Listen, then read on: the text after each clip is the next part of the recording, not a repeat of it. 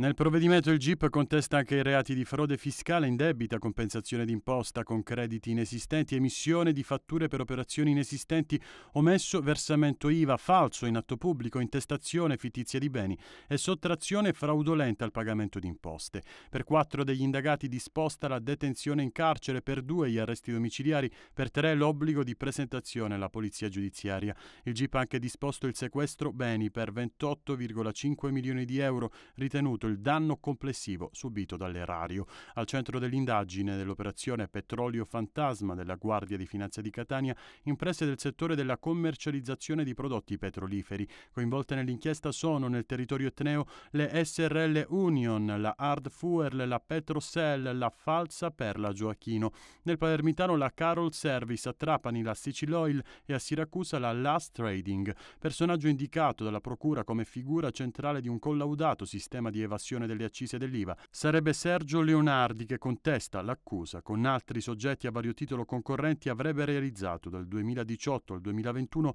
condotte di frode fiscale commercializzando ingenti quantitativi di prodotti petroliferi destinati all'autotrazione senza versare le relative imposte.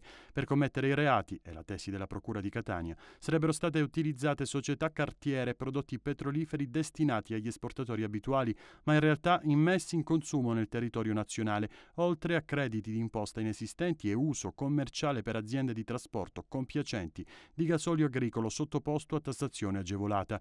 Una prima tranche delle indagini era sfociata in otto arresti nel sequestro di oltre 80.000 litri di prodotti energetici di illecita provenienza e di sette autocisterne.